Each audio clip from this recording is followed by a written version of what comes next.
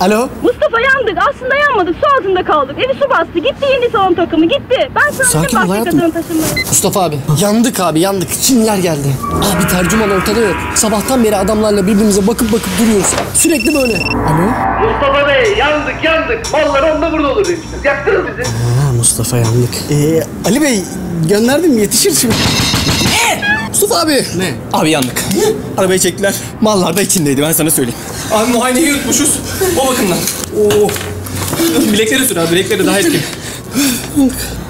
Sıkılıp daralmayın. Bir nefes alın. Bank Asya'dan Kobilere özel Asya Asist. Siz de Asya Asist'li olun. Yardım ayağınıza gelsin. Sorununuz en kısa zamanda çözülsün.